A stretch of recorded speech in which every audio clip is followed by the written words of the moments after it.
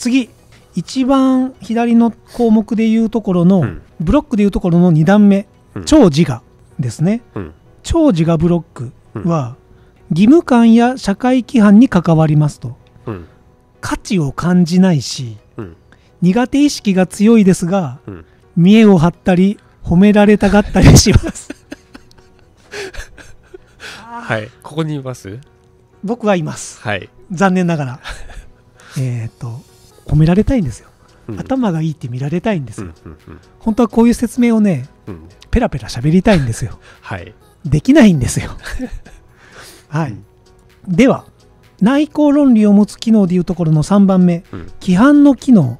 で強弱は2つ、うん。まあ低めなところとしてタイプで言うと ESI と LII ですね、短時間なら市場を挟まないうん。学術的論理的な見地からものを語ることができますが、うん。その様子は極端に弦楽的ですと。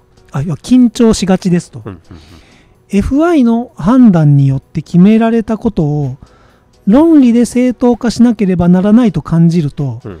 一応務めはするのですが、うん。すぐにイライラしてしまい特に論理の矛盾を指摘された時には、イライラが顕著に現れますと、うんそうなると論理的な動機を説明するかうん。あるいはその完全にその話題を避けるかしますと、えー自分の判断について論理的に一貫しているか、うん。かっこ矛盾がないか、うん。という観点から確かめることに苦手意識がありますと、うん。そのため論理的な説明を強いられるとピリピリしやすいですと、なるほど。内向的な人がはい。論理的だうん。っていうイメージって若干ないですか？社会で。社会的にこういう、はい。はいこういうのがある前って僕はうん。内向的な人はうん。全て論理的に考えられる人だ。そんなことはない。なんていうことは僕は思ってたんです結構。そんなことはないかなと思ってましあそうですか、たはい。これでずっと内向的な人って喋らないわけじゃないですか、うんうん。だから多分あなんか論理的にね考えてるんだ。って見えてたんですけど、うんうん。今日の晩ご飯のこと考えてるかもしれないです うん。っはい。ていうところなんですよね、うん。まあエニアグラムをやってるからもあるんで。ああなるほど。4的な人もいるだろうなみたいな。ああなるほど。もう感情が 感情中で爆発してい中でる爆発してるみたいな。では次、えー、とブロックでいう2段目超自我のなんでまあ苦手ですね、うん。脆弱な機能。はい。低い。ところに SEEIEE はい。はい。えっ、と私、うん。自分でやると SEE はい。人から見られて IEE どっちもここじゃないここにいます。僕はここにはい。います。はい、脆弱な機能をかける論内向論理、うん。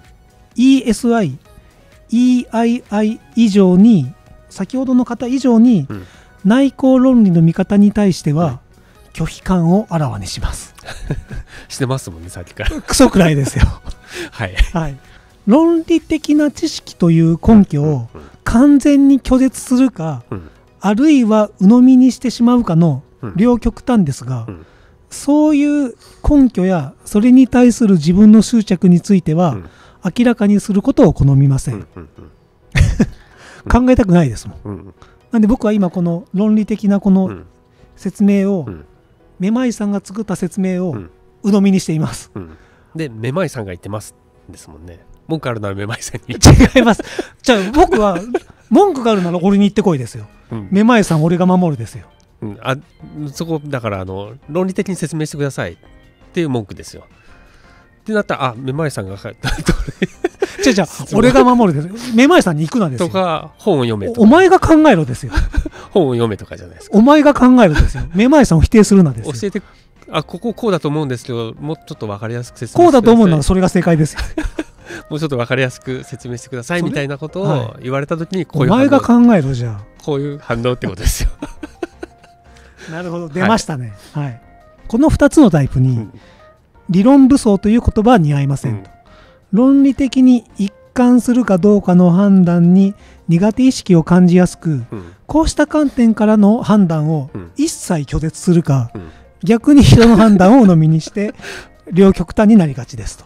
や今みたいなやつですよね。今コントですよコントをやっもう汗びっしょりですけど、はい、はい、自分が取り扱ううん。理論的なカテゴリーの数を制限するのを好むと。うんまた最終的に自分の経験から自分にとって必要であるうん。と判明するまでは新しい用語やシステムうん。規則を恣意的で不要なものであるうん。とみなす傾向がある、うん。もうこの辺ねすっごいわかるんですよ、エニアグラムはもう認めたので、うん。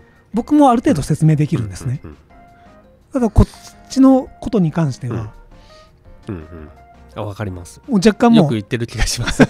ポイってやってる気がしてます、はい。で覚え方も、うん。L が論理なんでしょ？って。うんうん。はいはいって。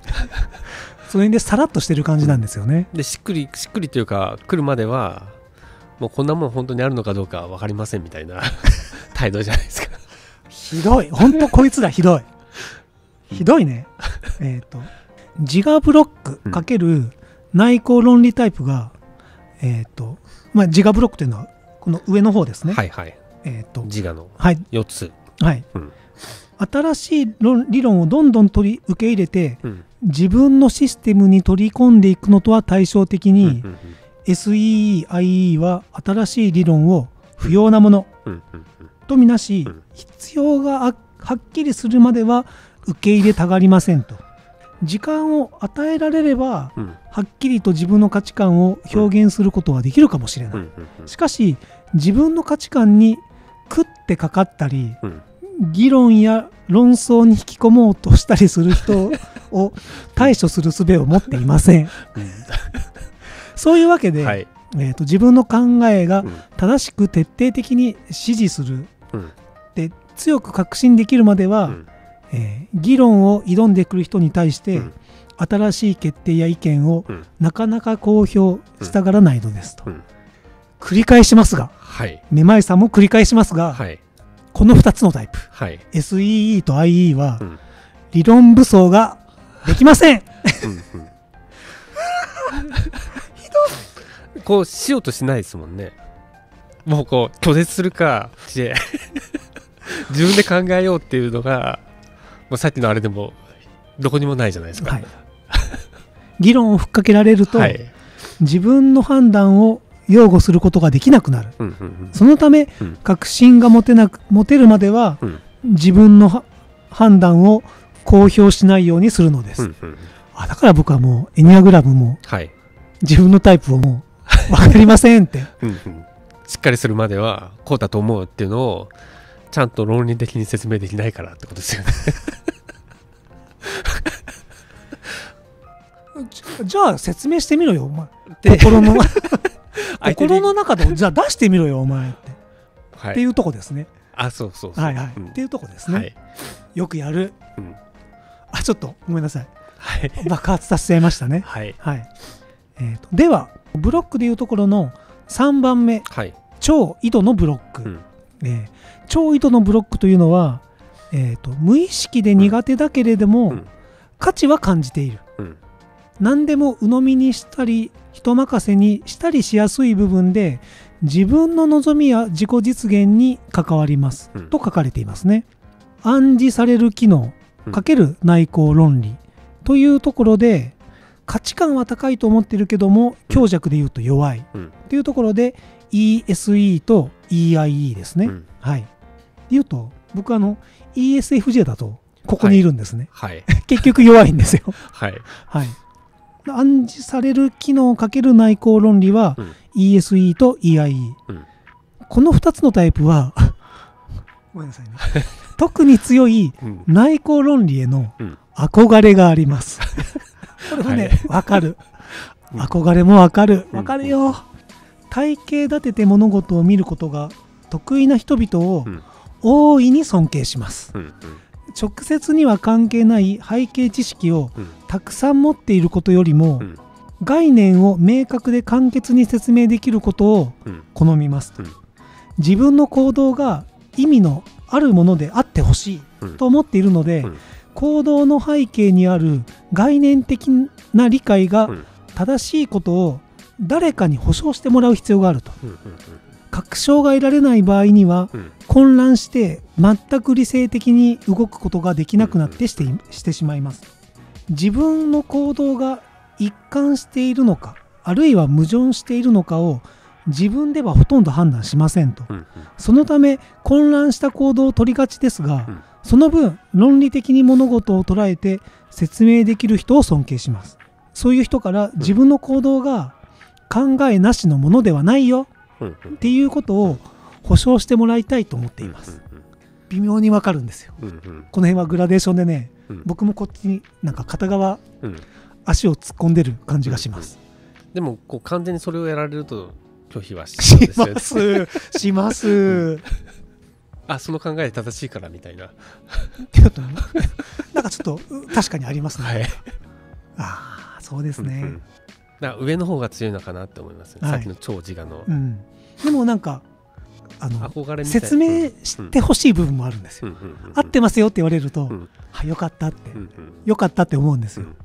何がうんうんだ？いや肯定しただけですよ。ああそうですはい。はい。すいません。はい。分かってほしいんですけどはい。分かられてほしくもないんですよ。はい、はい人ってそんな簡単に分かるのかよ。うん。あ多分ねこれを武器にしてるんですよ。はい。分かるわけないじゃん。ってうんうん。卑怯ですね。うん。う んでもでも勝てないんですよ。すいません。では超緯度の動員する機能×内向論理。SEI と IEI ですね、うん。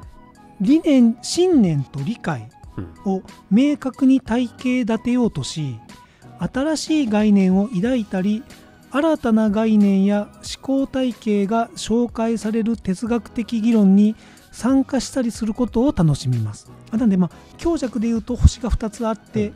まあ、価値は高いと思っている。うんうん。ああなるほどね、うん。この人たちは自分の行動の背後にある論理がはっきりとは自覚できていません。だから哲学的議論の中である程度の理性的能力を身につけるべく外界の助けを求めるのです。どちらかといえば目的達成の手段として自分の最大の目的へと至るための補助線として構造を必要としますと。まあね、価値観は高いっていうのは分かっている。うんうん。なんでこの今 FK さんがはい。論理発動する。うん。で僕みたいなうん。拒否じゃない。うんうん拒否じゃない なかったりするともしかしたらこの辺にいるかもしれないですよね。要は論理は大事だと思っている。うんうんうん価値は高いと思って高いと思ってる。自分では上手に使えないんだけれどもみたいな。うんうんうんだとこの辺にいるかもしれないですよね。